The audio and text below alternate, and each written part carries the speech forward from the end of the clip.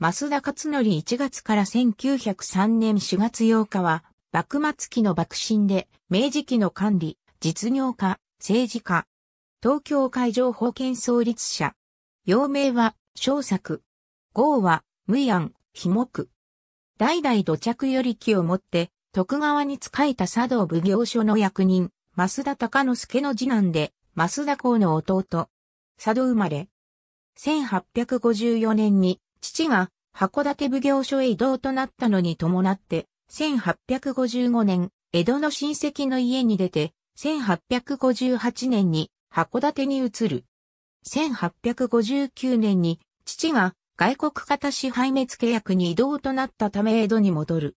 慶応年間、英漢学を治め海軍主要生となり榎本武明、榎本軍に属する。函館で捕らえられ、江戸に護送され、禁錮100日に処される。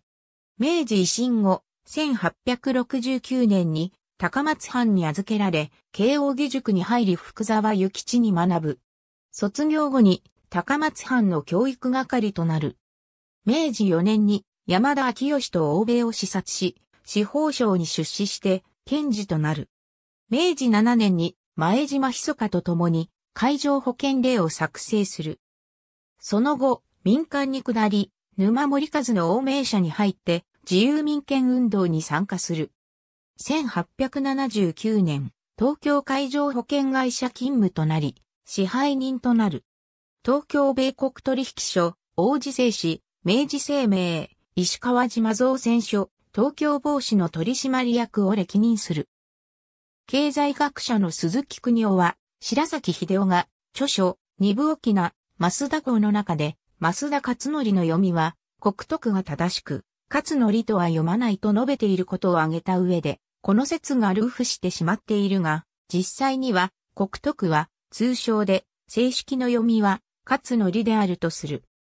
鈴木は、その例証として、ザ・ジャパン・ディレクトリの1896.1897年版に掲載された東京海上保険の英文広告に、勝則増田と表記されていることを挙げている。増田勝則を伝えによれば、家族の者は国徳と呼んでいたという。ありがとうございます。